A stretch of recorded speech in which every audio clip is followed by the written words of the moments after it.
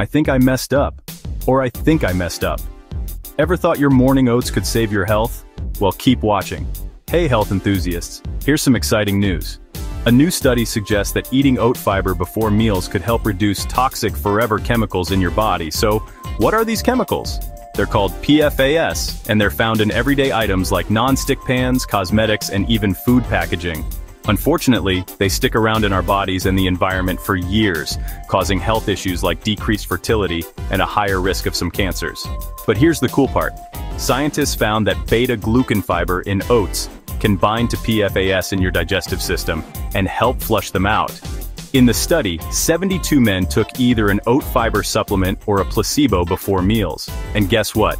The oat fiber group had nearly a 10% drop in two of the most dangerous PFAS types after just four weeks. Sure, the results are modest, but it's a promising first step. Imagine a simple dietary change helping to detoxify your body. So if you're looking to boost your health, adding some oat fiber to your diet might just be worth a shot. Please like and subscribe for more health tips. And check out the article link in the description box below. Stay healthy, folks.